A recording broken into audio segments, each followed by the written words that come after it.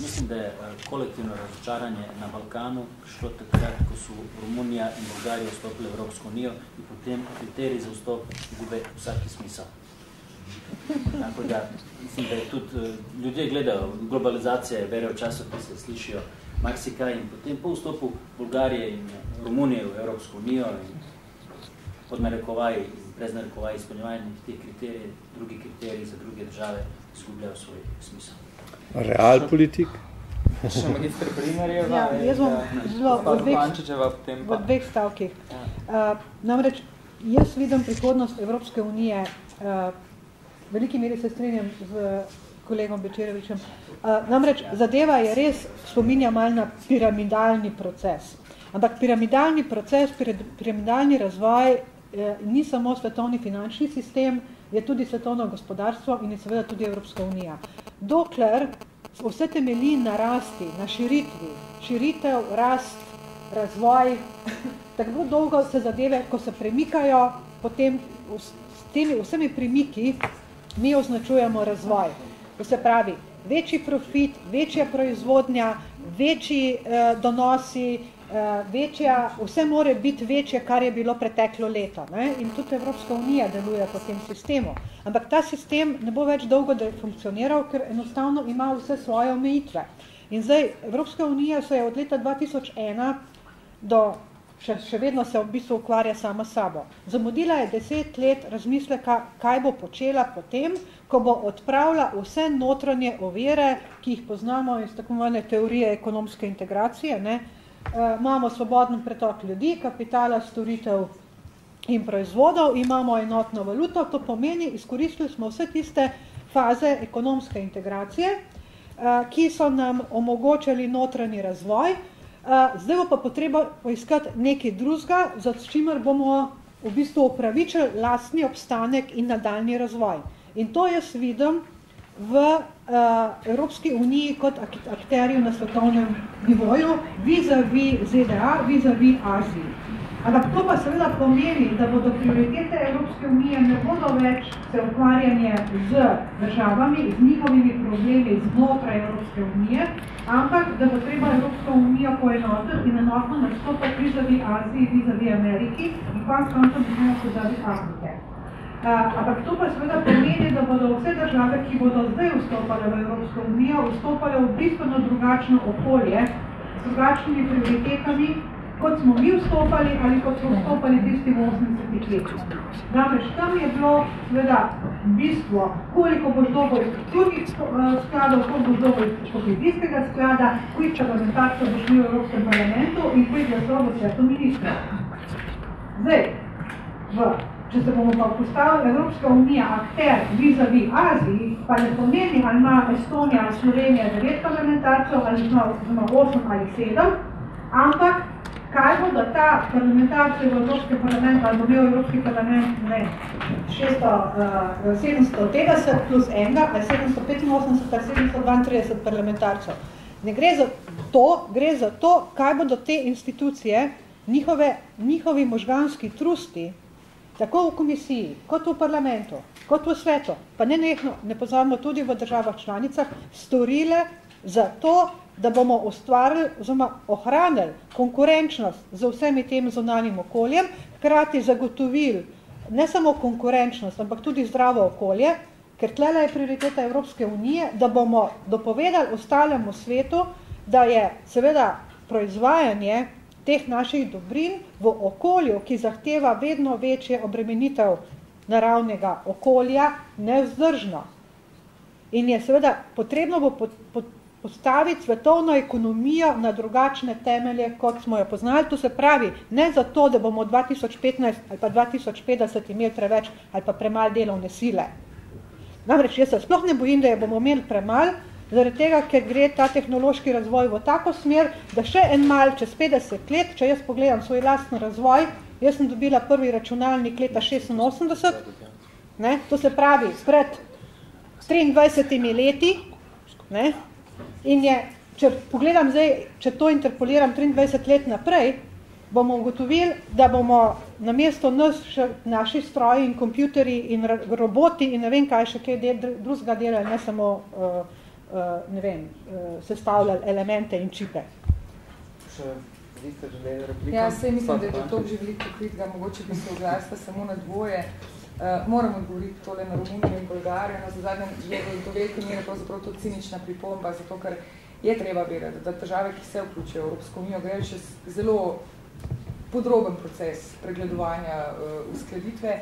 V primeru Romunije in Bolgarije je bila sprejeta odločitev, da, oziroma je bil izražen dvom glede sposobnosti uh, uh, uh, trajnega vzdrževanja kriterijev na področju uh, predvsem uh, boja proti korupciji organiziranem kriminalu.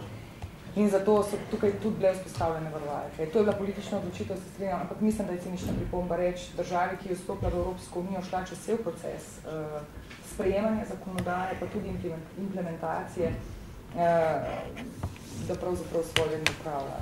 Eh, to bi pa mogoče se vrnati vprašanju samega rezondetre eh, razvijanja Evropske unije. Jaz do določene mere vem, da to vprašanje mogoče večkrat razburi, zakaj ni končen cilj določen. No, se zadnje nikoli tudi ni bil. V sam začetke integracije je bilo pravzaprav postavljen razvijanje vnaprej. Vedno znova se pravzaprav ta rezondete konc koncev tudi išče, mogoče poizumlja. Jaz mislim, da v današnjem času imamo uh, no, se zadnji odgovor precej na dlani, uh, da gre tukaj odgovor za globali, na globalizacijske uh, procese, to, se to bilo tokrat vendar tudi tukaj že večkrat uh, ponovljeno. Uh, jaz mislim, uh, ne samo na odgovor, kako bo Evropa svoje uh, mesto našla v svetu, tega ima, predvsem kako bo znala na uh, uh, procese, ki so, ki potekajo, uh, uh, uh, odgovarjati. Ne? In tukaj mislim, da je tisti uh, razlog, kot le za nadaljne še vidite, da države v tovrstnih uh, povezavah vidijo odgovore. Ne? Tukaj bi pa tudi rekla, ne vem, naprimer, da je za to dober tukaj Islandija, verjetno, ki je mogoče zdaj močno streslo, pa je eh, na hitro eh, podala svoj odgovor, kje vidi in zakaj svojo prihodnost. In tukaj mogoče tudi odgovor, da vendarle ne gre zgolj za tekmovanje elit in za prestiž, ampak za iskanje konkretnih odgovorov na konkretne probleme in tematike. Ampak ja, lahko jaz... Še gospod, najnovejši naj, primer. Še gospod Bečirovič, pa gospod Brglez za repliko. Najnovejši, najnovejši primer različnih kriterijev je liberalizacija vizumskega režima. Po tej Evropska unija oziroma Evropska komisija predlagala Srbijo, Črnogoro in Makedonijo, da bi uh, se ukinule vizumi Bosne in Hercegovine, Albanije in Kosovo. Razlogi, da so te države napredovale, evo, recimo primer za Srbijo, ni izročila Karadžića, a, Mladića a, Hadžića, potem po rezolucija Varnostnega sveta 737-757, odgovorna za agresiju na Bosnu i Hercegovinu, Crna Gora, za vojne zločine, odgovoran režim Mila Đukanovića, organizirani kriminal uh, in neodvisni in odvisni strokovnjaki potrjujejo samo različne, različne trditve o različnem obsegu organiziranega kriminala. Makedonija je razdeljena država, Hrvaška, od Hrvaške, eh, za ukrite vizum od Hrvaške pred 15 leti, 16 leti, nobeni zahteva nobenega kriterija. Tudi od Hrvaške se zdaj ne zahteva biometrični potni listi. Evropska unija nikje ne morete opaziti, da od Hrvaške se zahtevajo biometrični potni listi, vseh drugih držav se zahtevajo biometrični, uh, biometrični potni listi. Tako da, evo, naj, najbolj svež primer, znači, ta zadeva je še vedno aktualna. Evropski parlament mislim, da bo odločil oziroma predlago sprejel sklep uh, v drugi polovici uh, novembra 15. ali 20. Da se. Tako da ti različni kriteriji so obstajali, trenutno obstajajo in očitno bodo še naprej obstajali za posamezne države, mogoče, če bi v, v, v kakšnem drugem kontekstu govorili, mogoče za kakšne tudi etnične, verske, kakšne druge skupine posebne kriterije, ki v Evropske unije na koncu koncept ne trdim, da je to politika Evropske unije, ampak če debatiramo, lahko debatiramo o vseh aspektih. Še gospod Barle? Ja, hvala. A, pravzaprav me je k temu spodbuda tista, tist del, ki govoril o tem, da elite včasih prikazujejo zadeve tako, da so vse krive na koncu, na koncu da so vse krive v Brusli. Ne? A, to je ena stvar, ki je celo bolj splošna kot sama Evropska unija. Ne? In gre v to smer, da mednarodna organizacija pa njihovo kreiranje dejansko zgleda kot alibi za to, da politične elite nič ne počnejo. Oziroma, da tisto, kar ne morejo početi, počno preko tega tretjega, ki je naenkrat kriv za vse, ki pa ni noben odgovoren, vsaj ne neposredno. Ne? To je en velik te zadeve, ki je, ki je važen, ki ga je treba mičkaj dati na rekovaj. Ne? Torej, malo je treba paziti tudi na ta efekt celotne zadeve.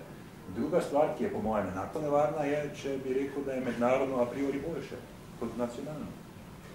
In tretja zadeva, ki je, ki je zopet problematična pri tej globalizaciji in podobnih zadevah, je to, da je globalizacija tudi alibi za marsikaj. Ne? In zdaj, naenkrat imaš kar enih par teh, bom rekel, strategij izogibanja odgovornosti nacionalnih elit preko katerih, pa ne samo nacionalnih, bom rekel tudi ekonomskih, preko katerih skušajo prilagoditi ljudi temu, da sami ostanejo tam, kjer so, in krati temu, da ljudje mogoče delajo več za manj plačila. Nažalost nas čas mečkeno preganja. Dve pomembni vprašanji se mi zdi, da bi mogli še nasloviti. Pone nekaj vprašanje. Tudi, to, tudi zaradi tega, da bojo lahko prišli uh, obiskovalci do besede. Uh, ampak še pred tem, uh, če se vrnemo za trenutek uh, gospodarski prihodnosti razširjene unije, zdi se, da so države članice pripravljene vložiti trud v skupne ukrepe usmerjene k večji gospodarski rasti in k razvoju posameznih držav članic, pojavlja pa se vprašanje, na kak način lahko to rast in razvoj dejansko tudi pravično razdelimo med državljane Evropske unije. Pa bi mogoče vas, doktor Svetličič, vprašal, um, kako naj države prevzamejo skupno odgovornost ne samo za gospodarski razvoj, ampak tudi recimo za socialne politike, ki pomagajo, da rast in razvoj dejansko pridejo do posameznika. Kakšna je po vašem mnenju prihodnost enega skupnega evropskega socialnega modela?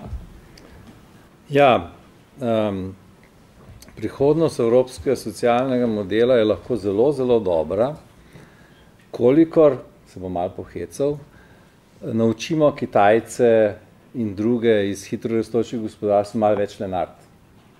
Skratka, mi moramo skušati ta model prodati na ta način, da bojo oni manj delali. ker nas bojo drugače pravzaprav povozili. To je zdaj malo na hecno stran obrneno, ampak jaz mislim, da sedanja kriza kaže pravzaprav, da je Evropa, če ravno je prizadeta, ne, in ta socialni model uh, omogoča, da so te paketi stimulansov, ne, ki so v Ameriki ogromni, v Evropi pa manjši, pravzaprav že ugrajeni v naš socialni model. Tako da smo mečken bolj rezistentni na krizne razmere, na nenadne udare, ki prihajajo iz sveta in tako naprej. Tako da prav kriza kaže, da verjetno tako kot kapitalizem celoti bo moral doživeti določene korekcije, da ta socialni model ima budočnost v prihodnje. Ne. Sicer pa na to razdelitev, ne, če bi bil pa zelo liberalistično nastrojen, rekel, bi pa rekel, vse države skrbijo samo za en del tega kolača, za prerazdelitev tistega, kar bi moral biti pravičnejše razdeljeno, sicer pa trg ne, pravzaprav deli tako glede na sposobnosti vsakega posameznika in države pa korigirajo to delovanje trga. Dokler smo v kapitalizmu, bo verjetno tako pa to, če želimo ali, ali ne. Bi se strinjal s tem, doktor Vodovni? Jaz mislim, da se profesor Svetličič tudi tu malo pošalil, ne, da trg se uh, lepo uh, distribuira. Ne, mislim, da, da, da... Nisem rekel lepo, da trg distribuira v kapitalizmu. To se bo strani. Če pravično ali ne, to, to pa nisem rekel. Nič nisem rekel. Um, predno preidemo še na uh, vprašanja, ki bodo zagotovo prišle iz publike. Uh, bi jaz imel še eno zadnje, mogoče bolj kritično orientirano vprašanje, ki bi ga naslovil uh, na um, teoreti, teoretskega politologa v tem govorniškem panelu. Um, zdi se mi, da je vprašanje zlasti pomembno za študente, ki se so, soočajo s proučevanjem Evropske unije. Ko recimo iščemo kritično literaturo v Evropski uniji, v veliki večini primerov um, ne naletimo na vsebine, ki bi prespraševale temelje evropskega ali pa recimo mednarodnega uh, združevanja in tega vseevropskega projekta, ampak naletimo bodi si na kritiko politik, ki jih EU izvaja, spravo eno policy kritiko, bodi si letimo na kritiko delovanja institucij Evropske unije. Um, na ravni ideologije pa se zdi, da se v Evropski uniji nekako bližamo tistemu koncu zgodovine, ki ga je napovedoval Fukuyama. Um, kje ne iščemo vzroke za odsotnost ene širše ideološke kritike um, tega, kar se trenutno dogaja v Evropi? Mislim, da vprašanje je zelo, zelo na mestu. Še posebej, ker tudi v lastnem delu ne, s študenti opažam, da prepogosto iščejo bližnjice. V tem pogledu, da naprimer dosti laže je govoriti o senčni strani Združenih držav Amerike, zato ker imamo že vse popisano v delih Howarda Zina, Noma, Chomsky in podobnih. Dosti teže pa delati isto nalogo za, za našo lastno zgodovino, ne, oziroma za lastne politike. Ne na zadnje položaj Evropske unije v nekem globalnem prostoru ni tak, tako zelo svetov v primerjavi z tem, uh, to entiteto tam onkraj oceana. Ne.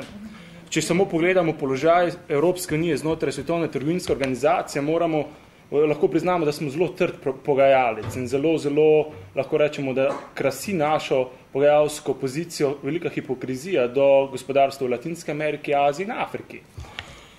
Kje iskati to literaturo? Mislim, da je ni in da je potrebno iskati, ampak da je potrebno tudi iskati in graditi na vsem tem dobrem, kar je bilo in kar je v Evropski uniji možnost korigiranja in discipliniranja devijacij znotraj nacionalnih držav, možnost graditve dejansko evropskega demusa v smislu odpiranja neke družbe, ki bo sprejemala vse tiste, ki so danes znotraj nacionalnih držav marginalizirani.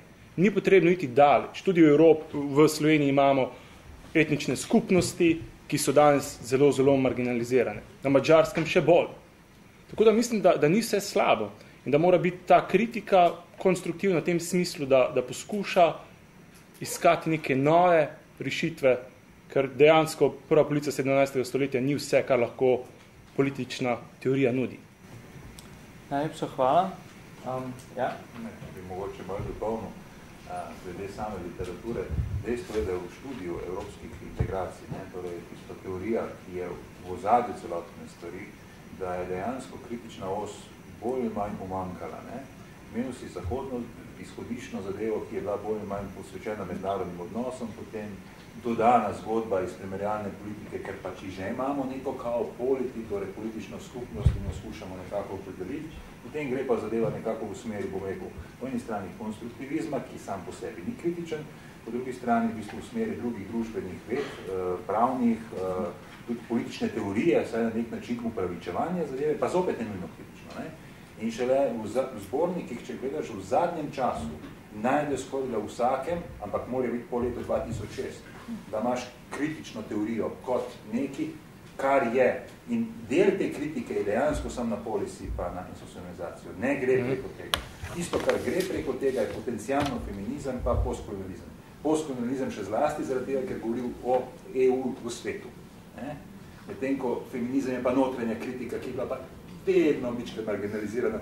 Tudi, ko si imel kaj, kaj drugega, kar se je smatralo za blazno levo, je to dalo rajš na stran. Ne? To, to bo pol. Ne? Uh, tako da res manjko kritike je, ampak ni pa absolutno manjko kritike. Obstaja, uh, se razvija, ni pa, nima pa dobenega samostojnega časopisa ali karkoli tazga, ki bi se ukvarjal z EU, pa da bi bil pravzaprav kritično nastrojen, razen če je res nekje zelo marginalen, torej nekega mednarodnega dometa nima. Tako, jaz se gostom zahvaljujem za odgovore na moje vprašanja. Um, sedaj pa so na vrsti obiskovalci in obiskovalke. Um, jaz vas lepo vabim in pozivam, uh, da gostom, ki so resnični strokovnjaki na področju, katerega smo obravnavali danes, uh, zastavite vprašanja um, katera bi vas zanimala, vam pomagala pri vašem študiju. Uh, in mogoče bi lahko začeli kar takoj. Jaz predlagam, da samo vzdignete roko, mogoče ostanete, se predstavite in zastavite vprašanje. uh, lahko ga zastavite posameznemu gostu, uh, ukolikor želite, pa ga lahko zastavite tudi na splošno, pa se bo verjetno kdo izmed njih uh, že našel, um, ki bi odgovoril na to vprašanje. Torej, um, Uh, jaz uh, sem še vedno mladek na 85 letnik, pa me zanima, uh, prejšnji teden sem zasledil izjavo predsednika Danila Dirka, da pač je komentiral izbiro predsednika Evropskega sveta in je rekel, da je to nek test uh, transparentnosti in kredibilnosti Evropske unije in pač uh, te politične elite v Bruslu, ki bodo zdaj izbirati tega predsednika. Ne? Doskrat se omenja Tony Blaira, ki prihaja iz evroskeptične države, In se že nekaj zdaj menštra, češ, da bo on postal predsednik Evropskega sveta. Zdaj mene zanima, ratifikacija Lizbonske pogodbe je, bila, je bil prvi kamen spotik oziroma zelo težaven proces. Zdaj pa prihaja še drug težaven proces, ko bo treba dejansko te spremembe izvajati v praksi. Ne? In tukaj bo tudi zelo velik test, test za Evropsko unijo, kako bo to izvedeno na transparenten način in tako v ne po nekih demokratičnih procesih. Ne? da bo pa tudi imela kredibilnost v očeh ljudstva. Če lahko dokumentira, če... Jaz bi samo na tole, če bi smela samo na začetek, da bojo eh, politične elite v Bruslu zbrale predsednika Evropskega sveta, popolna napaka, ker ga ne bodo. Zbrale ga bodo politične elite v prestolnicah držav članic. In to je huda, in to me res moti, se mi zdi, da je zavajajoče v teh procesih.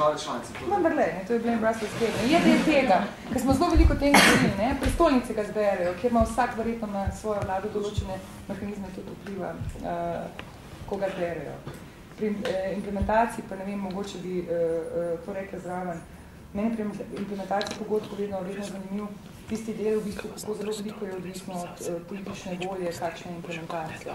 Recimo imamo pogodbo z Nice, ki nikoli ni bila v celoti implementirana. Ne? Zelo veliko sprememb, ki je izmonska pogodba uvaja, to zapravo jih tako je tako že mogoče pogodba, pre, uh, ja. sedanja uh, pogodba, ja. ampak je vprašanje politične volje, v katerem je izvedeno in seveda enako vprašanje tudi, če imamo novo izmonsko pogodbo, na kakšen način bomo izvedene, je prav tako vprašanje v prvi vrsti in predvsem politične volje poguma, da se uh, te spremembe uh, izvedejo. Mene transparentnost izvajanja uh, novitet pravzaprav niti toliko ne skrbi, se gre tako bolj več ali manj v bistvu za precej jasne pravne formalne kategorije. Bolj gre pravzaprav za odločanje uh, o tem, do katere mere dopolno uh, izkoristiti uh, okvir, da imamo. Bi želel kdo še dodati? Ja, lahko. Ja. Veste, uh, jaz moram reči, da seveda popolnoma se strinjam z vami, da bo seveda uh, osebnost, ki bo odigrala, ki bo prva stopila na to prestol predsednika uh, Evropske unije, pomembno zaznamovala način dela, vsebino dela, obseg dela, pristojnosti in tako naprej. Ampak po drugi strani se pa moramo zavedati, da moramo te voditelje, pa ne to jih jemljamo na nacionalni ali pa na evropski ravni, jih pač moramo gledati kot politične menedžerje. Uh, namreč, uh, in jaz nimam nič proti Toniju Blairu, če prihaja iz euroskeptične države, ker ti to mogoče ni njegova opredelitev, pod, pod tega se pa on bi skazal kot zelo dobri, dober političen menedžer in če se bo v tem svojem političnem menedžiranju izkazal tudi na ravni Evropske unije, nimam nič proti. Namreč, jaz se dobro spomnim, kakšnih uh, eh, 15-20 let nazaj, so izbirali, uh, istočasno je bilo uh, uh, nominiranje za predsednika uh, Svetovne banke, NATO in uh, zahodne, uh, južnega krila poveljnika za južno krilo, to se pravi sredozemsko, uh, to sredozemski bazen v okviru NATO. In so zbirali med tremi kandidati.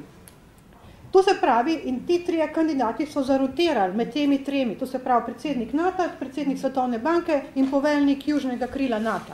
To se pravi, če eden ni izbral, bil izbran za predsednika Svetovne banke, je bil lahko predsednik NATO, če pa tam ne je bil pa poveljnik general. Ne? Mislim, to pomeni, da če ti lahko opravljaš tako različne funkcije v eni osebi, ne, pomeni, da ne igra pomembno vlogo kaj si ti po izobrazbi, temveč tvoje znanje, veščine, sposobnosti in še vse kaj drugega, ki ti daje tist obseg, da lahko ti menedžiraš neko entiteto, ali bodi si je to Slovenija, bodi si je to Evropska unija. Predvsem grejo znanje, izkušnje, izkušnje malo, uh, jaz bi temu rekla, karizme, rizika, ki ga taka osebnost naj vsebuje. Ne. No, ampak jaz kljub temu ne bi rad videl Blaira za predsednika. Ampak, no, prosim? Jaz bi tudi komentirala, mogoče to z, z gospodom Blairom, Mirjana Zagajšek, sem drugačna vidaka. Um, jaz sem slučajno videla, torej, Združene države, um, Velika Britanija je predsedovala, takrat je bil Blair Evropski uniji, ne? in ob koncu predsedovanja seveda so pač njemu predočili v parlamentu njegove dosežke in pomankljivosti. In moram reči, da so bili parlamentarci, evropski parlamentarci zelo kritični.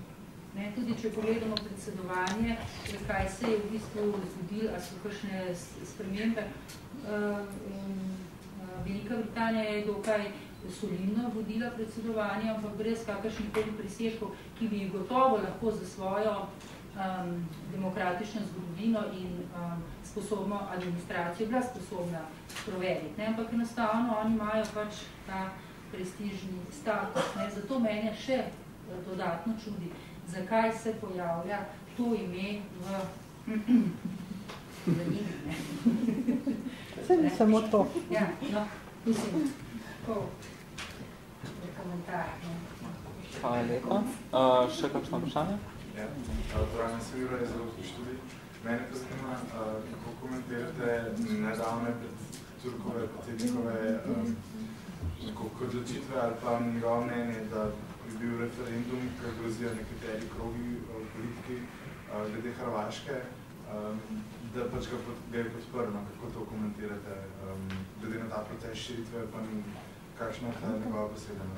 A lahko malo bolj diši? Še enkrat. Kako komentirate uh, predsednik Turkovo mnenje o tem, da se strinja, da se izvede uh, referendum, ki zdaj nekateri drugi grozijo, glede Hrvaške?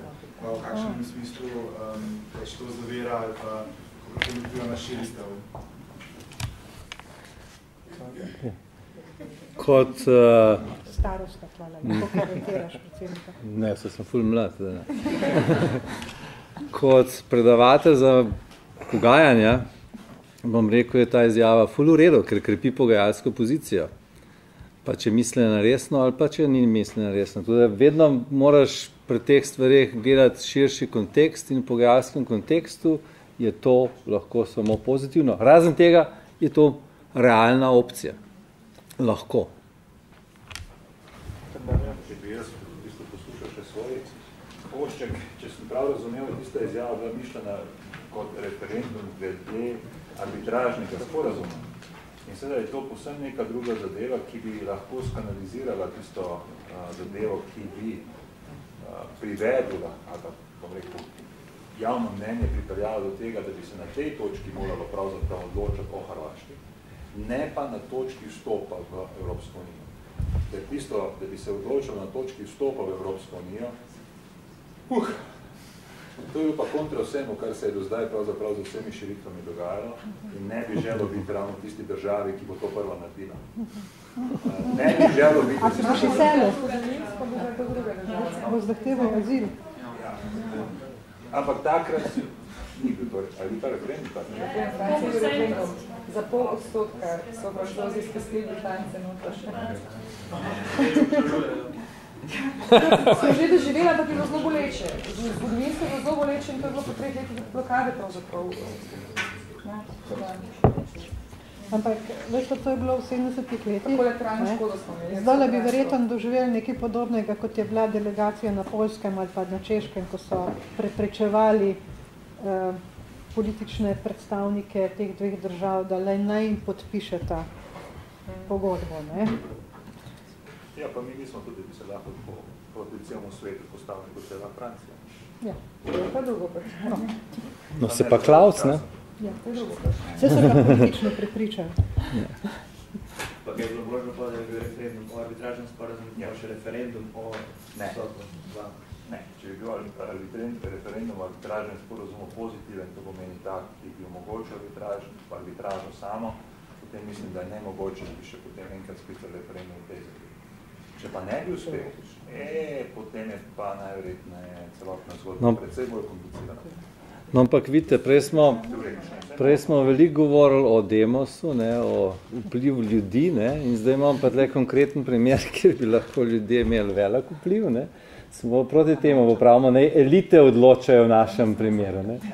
Tako da, mislim, tle moramo zelo paziti, da veste, te stvari so lahko zelo delikatne. Tako da, v teh debatah eh, elite, eh, ljudstvo, ne, se moramo zavedati tudi, da ljudstvo pomeni Hajderje, Lepene in tako naprej. In v takih kriznih razmerah je ljudstvo množica, ne, ki sledi nekateri, ali pa brlo, ja. Da, uh, je včasih zelo dobro, da je kakšen drug odloča, ne pa Se strinjamo. populizem. Ampak, ampak samo čisto na kratko, če dodamo, ne, uh, populizem je in te podobne anomalije so rezultat teh političnih struktur, ki jih danes imamo. Jaz govorim predvsem o tem, da je možno oziroma potrebno izmišljati neke nove politične prakse, ne, ki bi prehajale to logiko, ki je še vedno zakorenjena znotraj Evropske unije.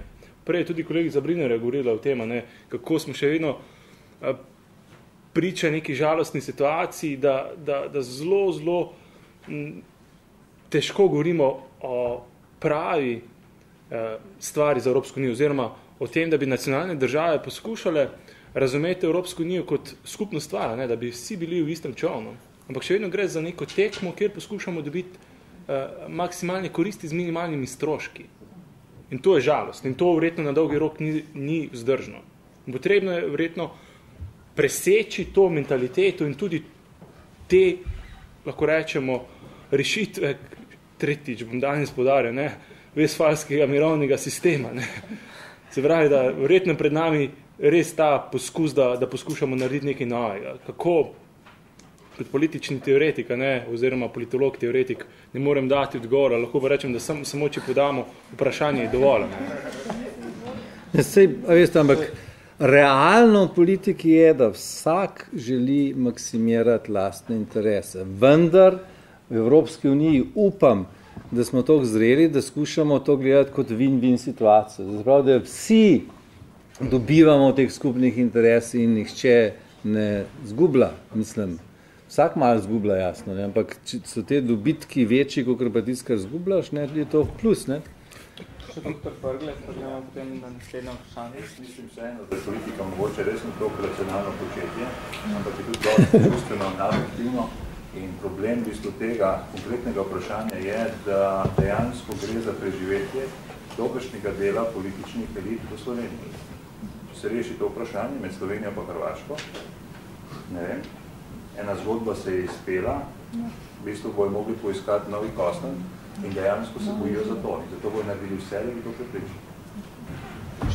Glede referenduma vstopu Hrvaške oziroma arbitražen sporazum, mislim, da ne bi bil dober, več razlogov je za to, tudi same meddržavne odnose ne bi pozitivno vplivalo, ampak mislim predvsem, če bi šlo do referenduma, bi to bil izraz a, a nezaupanja v domače politične elite, to pomeni, da niso dobro opravili naloge in mi to zdaj moramo preverjati na referendumu. In predvsem je to, a, mislim, da same politične elite morajo dobro opraviti nalogo, da ne bi prišlo do tega, ker posledice tega referenduma, kot so kolege omenile, bile bi zelo škodljive za našo državo. Vprašanje? Mene pa zanima, edina država, v kateri, v kateri so izbonski pogodbi odločeni na referendumu, je bila Irska, kjer so sprvo to zavrnili. Potem so čez nekaj časa ponudili in je uspela. Kako to, da se v vseh ostalih državah niso odločili za referendum, verjetno tudi iz strahu, da se ne bi izgubilo, da se ne bi izgubilo zavrnitev, vpliva na legitimnost Evropske unije, ki se da vsekakor še bolj potrebna, Predvsem pa to tudi v luči tega, kar ste vi prej rekli, da bodo o Tony Blairu oziroma drugih možnih kandidatih odločile politične elite držav članic. Zakaj o tem ne bi odločile pač demos, kot vsi podajo? Ja, mislim, jaz absolutno se lahko seveda o tem tudi dogovorimo na, na zdaj pač načina na evropski ravni, da bi se dogovorili, kako bomo vsi skupaj potrebovali, naprimer nove pogodbe nimamo, Jasno je, da je to prepuščeno državam članicam, njihovim ustavnim sistemom, na ta način se pač tudi potrjuje. Če me sprašujete za moje osebno mnenje, menim jaz, glede referendumov na splošno, da so smiselni takrat, kadar je moč, moč zagotoviti, da se seveda lahko tudi uh, odločite dobro informirane. Jaz mislim, da gre doskrat lahko tukaj tudi zavajanje na, na, na vse zadnje uh, volilnega telesa. To je moje osebno stališče, ampak sicer pa mislim, uh, je jasno, zakaj uh, referendumi na katerih državah so ali ne, zato ker pač skladno z ustavnimi sistemi, ki jih države imajo, to vrstne pogodbe potrjujejo. In pač na Irskem je bila tudi odločitev njihove domače vlade, da se odloči še za en referendum. Irska se dejansko odločila že ta drugi zapored za drug referendum. Tako za pogodbo iznice, kot, pogodbo, uh, kot za novo Lizbonsko pogodbo. Očitno je dialog političen v državi takšen, da si vlada tam lahko to preprosto privošči, če lahko temu tako rečem. Uh, imamo pa tudi države v Evropski misli, da ki referenduma ne smejo imeti skladno z ustavnimi določili. Tudi to je treba vedeti. Eh, tukaj so uh, ustave pravzaprav nekak na, na nadnacionalni ravni v tej fazi ne posegamo na tak način. Uh, se pravi Evropska unija, če lahko rečemo kot entiteta, ne posega v uh, to vrstne vprašanja. Če je čas za to zrelo, jaz osebno menim, da ne. Ja, če bomo do tega prišli, pa tudi rok malo verjetno ne. Ampak apropo tega, pogledajte, mislim, da je včasih nevarno prepustiti ljudstvu, da odloča. Ne? A, to. Irska je država, ki je brez dvoma imela od Evropske unije daleč največ, največ koristi. Ne? In kljub temu je rekla ne, ne. na prvo Lizbonsko pogodbo. Zdaj, to je zdaj, kaj je EU, pa kaj je Lizbonska pogodba, so lahko dve stvari. Ne? Ampak dejstvo je, zdaj so pa, zdaj pa kriza pritisnila, ne, real politik, ne, so pa rekli ja te isti ljudje. Ne? Tako da Evropska unija je mal vizionarski projekt ne, in uh, ne, uh, tako kot je kolegica Mihaela rekla, ne, referendum je ustrezen takrat, ko ti lahko kvalificirano veš, o čem odločaš. Ne. Lizbonske pogodbe, da ima tle roke dvigan, kdo je celotno prečital, ne, če bi hotel v tem odločati jaz, ne, bi moral jo prečitati. In to pa ni realno pričakovati. Še kak dodatni komentar? Ja, gremo na... Da mogoče pa podoba zmeravno tako romantična, da je to stvar posamezne politike države članice. V bistvu so Irsko vsi kritizirali, da kako si drzne z referendumom ogrožati sprejem izbonske pogodbe. To mogoče ni samo real politik vplival na to, da so na koncu rekli, da ja, zato ker je bilo ogromno denarja porabljenega do tega drugega referenduma, da bi se spremenilo to realno. Še več v prvem. Še več v prvem. Nasprotnikov. Ne, uh, mislim, nekaj moramo vedeti, Mihaela ni tega decidirano rekla, ampak Irska ima v ustavi zapisano, da se vse to vrstne spremembe, ki vplivajo na Irsko, znotraj Evropske unije morajo sprejeti na referendumu. To je decidirano v ustavi in prek tega ne morajo iti. Ne. Vse druge države imajo pa referendum kot opcijo, kot politično opcijo, ki lahko eh, ne vem, ugotavlja javno mnenjsko podporo nekemu projektu. Ne. Eh, tisto, kar bi pa jaz rekla, je pa to, ne, Irska je veliko dobila iz te Evropske unije, iz tega uh, iz tega projekta. Še več je dobila zdaj v krizi. Namreč Irska je dobila v bistvu 15% vse pomoči Evropske centralne banke. 15%, ena država. Vi pa veste, da v Evropski uniji nas je 27. To se pravi, ne ostane za vseh 27 tisti kolač. Ne? Zato, da so ji pomagali iz ekonomske krize. Ampak to je pa tisto, kar sem prej rekla. Ne, ne, moramo, ne, moramo, ne, ne moramo se obnašati v tem evropskem projektu, mogoče sem velik idealist v tem smislu, ne, da bomo najprej pojedali tvoje, potem bomo pa vsak svoje. To se pravi, najprej bomo pojedali evropski kolač, potem pa, ko bomo pa še imeli vsak svojega, ne, seveda bomo pa svojega lepo ohranili za, na, za nas same. Ne. In še nekaj, prej je Mihaela rekla, uh, Islandija se je odločila za, za, za vstop v Evropsko unijo. Jaz se podpiram, ampak jaz se vprašujem, mislim, da bi bilo pravično, da se vsaka država, njene elite in konc koncu tudi ljudje vprašajo, ko lansirajo tak projekt, ne samo zakaj bo Evropska unija dala nam, koliko procent evropskega proračuna bomo uspeli, ne, bomo dobili, ne uspeli počrpati, ker uspeli počrpati je drugo, ne, Tisto bomo, uspeli bomo počrpati toliko, koliko bomo imeli znanja za to in v Sloveniji ga nimamo, ne, da bomo uspeli počrpati, zato še nismo vse počrpali.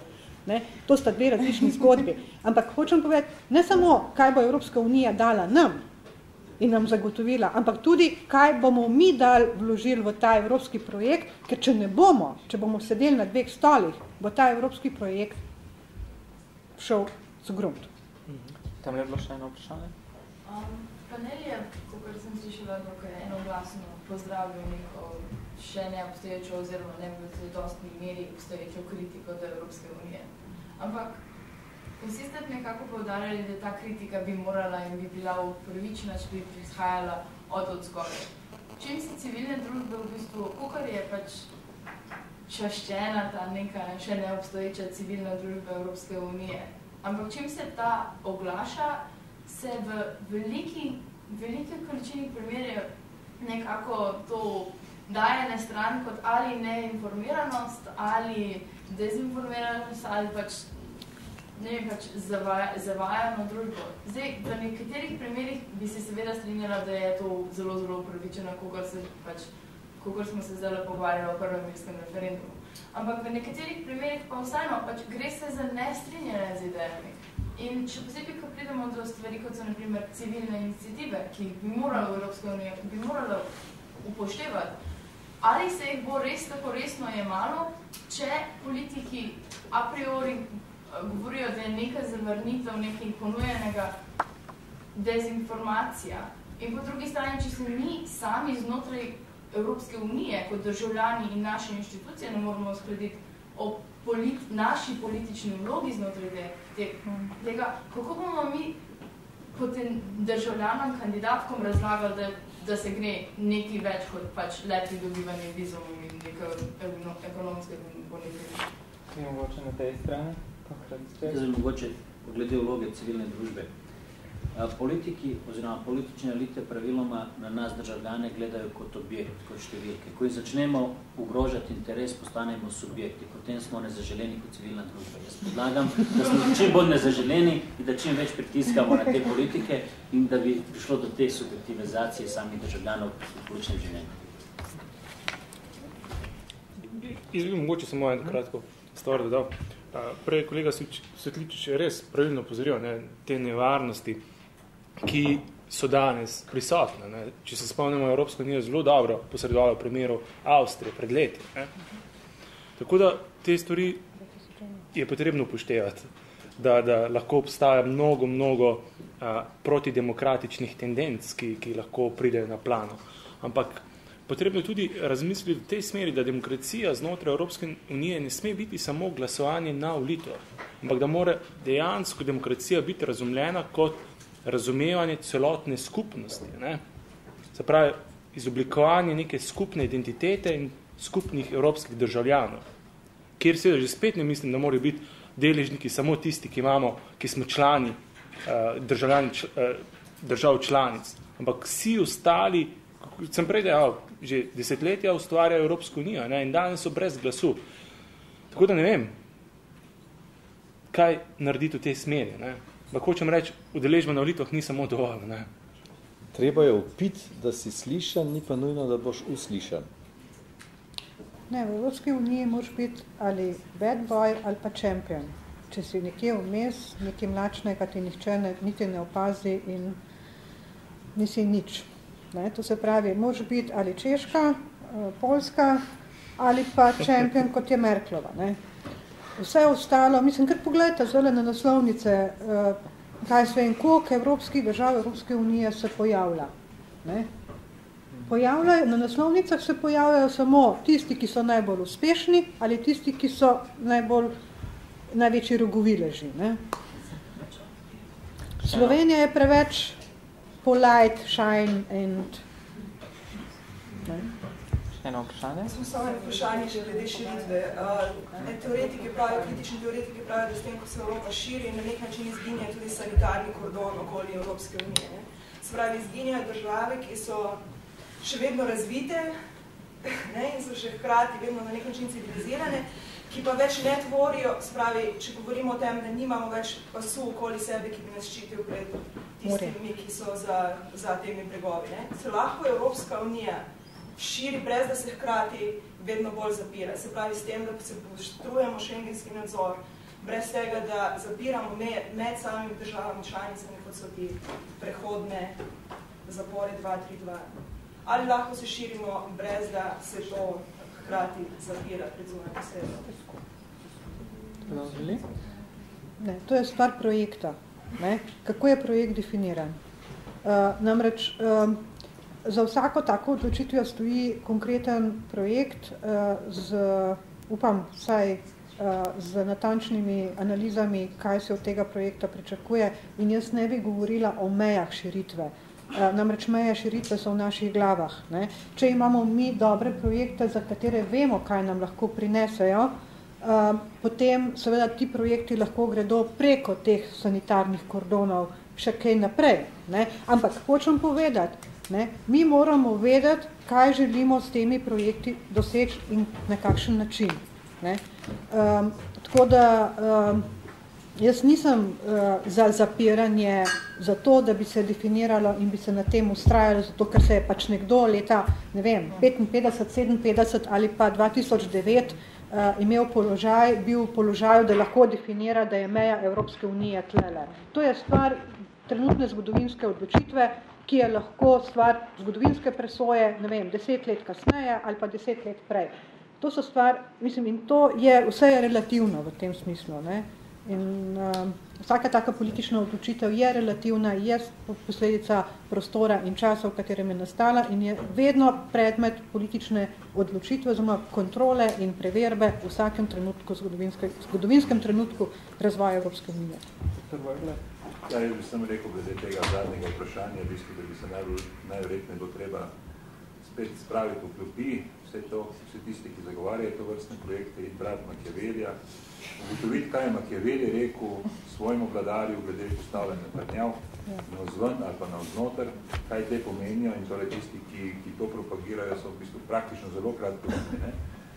Na dolgi rok to ne more zdržati, ampak hotel bi odgovoriti tudi na ono prejšnje vprašanje na nek način. Ne? Tisto, kar je bilo glede same te civilne iniciative, ja, tisto, kar ta civilna iniciativa potrebuje, potrebuje nadnacionalno organizirane. Ne? To je, mislim, isto osnovna stvar, ki jo je potrebno nekako zgraditi, če bi hotel karkoli, s tem, da upam, da ne bo za, to, za takšno nadnacionalno organiziranje spet potrebna naslednja vojna, ne vem, ki je, proti kateri se bomo borili, ker tak nas je, takrat nas je pa bilo dost, da bi spravili na referendum na Evropski ravni skupaj, če bilo treba. Sam pravno osnovo bi rabili za takrat, takrat je ni bilo.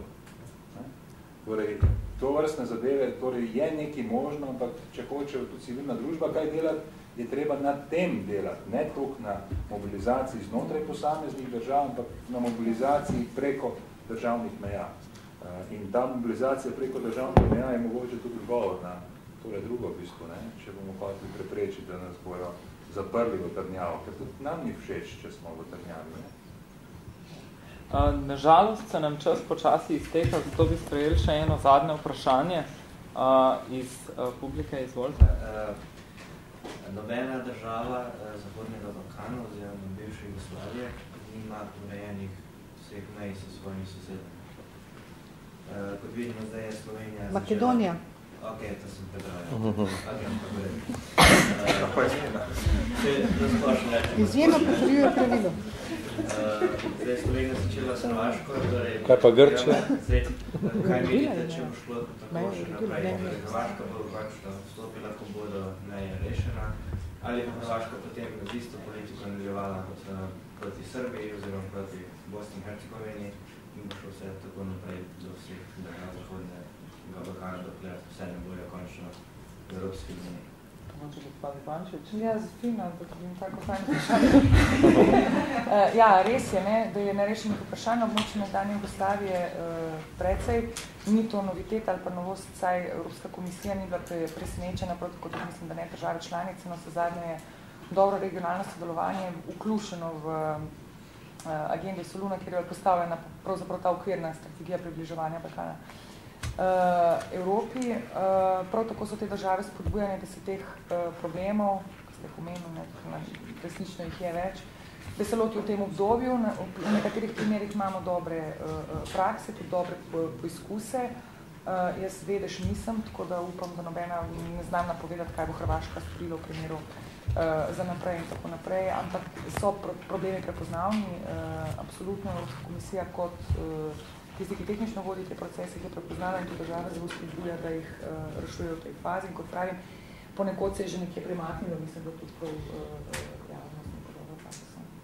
V času slovenskega predsedovanja ali takoj po predsedovanju sloviti zunanji minister Rupel je predlagal, da vse države kandidatke podpišejo medsebojne izjave, da ne bodo ovirale medsebojno drug drugu pri vstopanju v Evropsko unijo zaradi menjih vprašanj.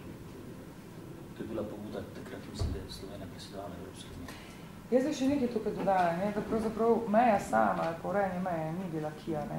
Tukaj gre za politično uh, pogojevanje pravzaprav. Uh, zato, ker uh, Evropska unija nima pristojnosti, skupnosti nima pristojnosti urejati meje, vločati, ki je potekajo meje med državami. Sem si tudi noveden od nas ne želi, da bi Evropska komisija ga pridobila pristojnost, ki je predlagala, ki je meja med državami poteka. Jaz ne bi želela pa gledam Evropsko komisijo. Ampak želim reči, da tukaj pravzaprav ne gre za nek pogoj, ki bi izhajal, uh, ni pogoj, da so meje urejene.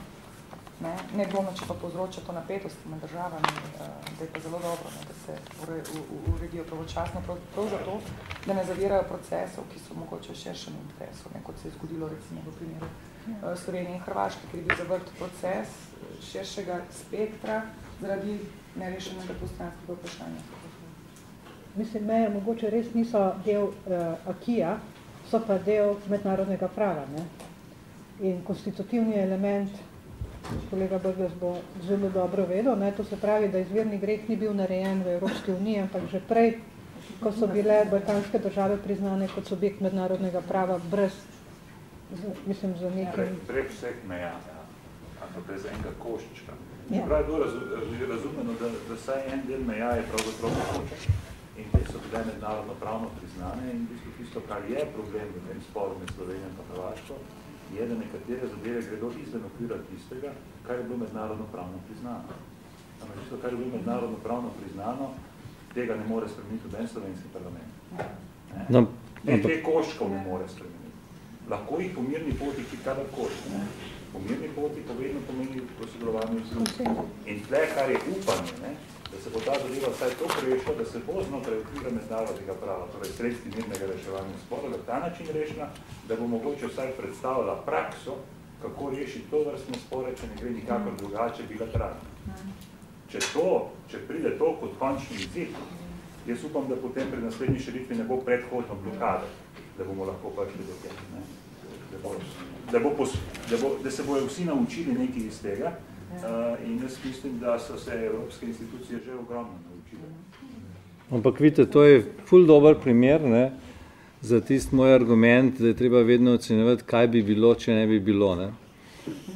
Kaj bi bilo, ne, če bi takrat mednarodno pravo, mednarodna skupnost hotela urejene meje, da prizna države. A bi bili mi zelo happy, ker nas ne bi priznali še ne vem koliko 20 let? Ja, verjetno se takrat hitro zmenil.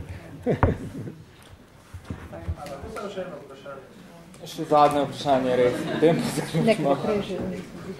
Kaj pa, če je mogoče glavni problem to, da ima ljudstvo občutek kvazi pluralizma v Evropske unije, da se, da, da se mogoče, ne vem, mogoče ta prava alternativa vprašanju, kam bi se Evropska unija morala širati ni med temi štirimi točkami, ampak je mogoče tista ta prava alternativa, alternativa bi se morala širiti na katero koli državo, se pravi, brez kakršnih koli ne. Se pravi, v bistvu, v tem konkretnem primeru alternativa danes, v kateri se debatira, je na katere države ne se širi, na katere pa ne.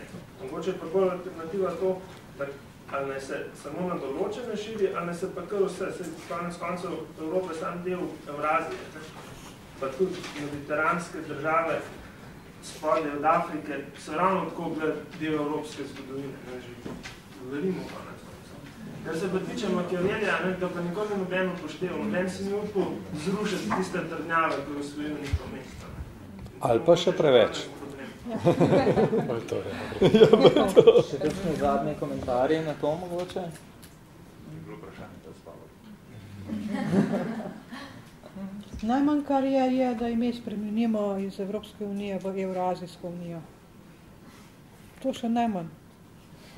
Pa to bo najmanj, najmanj težav. Ampak pa bi pa Kitajci kombin, kombin, komandirali.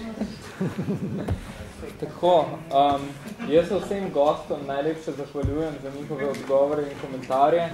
Publiki se zahvaljujem za pozornost in vprašanja. Uh, predno pa vam zaželim lahko noč. Uh, vas želim samo še povabiti na še eno razpravo v okviru projekta Tudi tvoje mnenje šteje, ki jo obtekla prav tako na tej fakulteti in sicer 9. novembra ob 18. uri, kjer se bomo pogovarjali o tematiki, ki je bila danes že izpostavljena tudi v tej razpravi in sicer to je vloga Evropske unije v svetu. Uh, upam, da se vidimo takrat, uh, do takrat pa uh, lahko noč. Thank you. Ciao.